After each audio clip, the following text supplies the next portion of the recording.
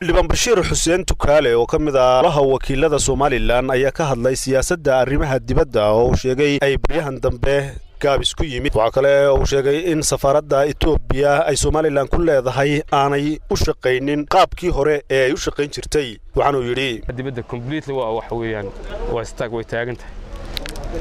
Daaqad waliba way nagu soo xidhatay.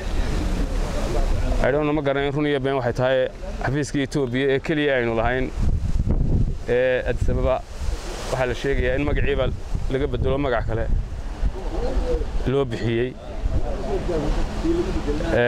Dee taasina waa arrin hor lahoo aan hore u jiri jirin.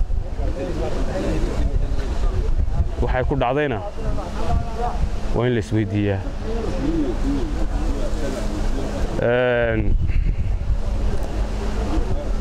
Marka runtii xaalad cusub oo aan hore loo arag ayuu dalku galay.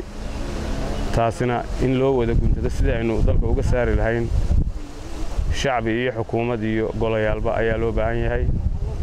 Haddii arrintu sidaa ku sii socoto dee jiritaankeenni wuxuu gelayaa mugdi. Maxamed xuseen jaamac star t v hargeysa